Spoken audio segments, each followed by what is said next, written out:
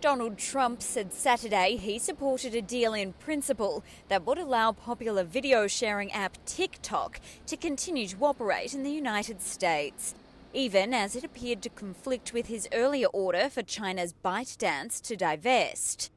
ByteDance was racing to avoid a crackdown on TikTok after the US Commerce Department said on Friday it would block new downloads and updates to the app from Sunday.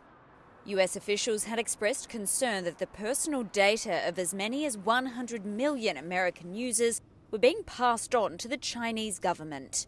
Trump signed an executive order last month giving ByteDance 90 days to sell TikTok. The deal announced on Saturday, however, is structured as a partnership rather than a divestment.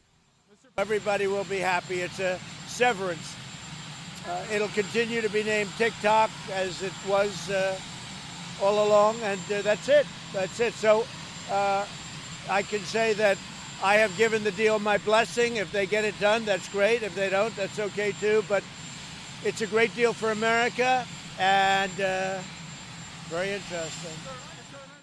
Trump said TikTok will be owned by a new company, TikTok Global, and will be headquartered in the United States. Oracle will take a 12.5% stake in TikTok Global and store all its US user data on its cloud to comply with national security requirements. Retail giant Walmart said it would take a 7.5% stake.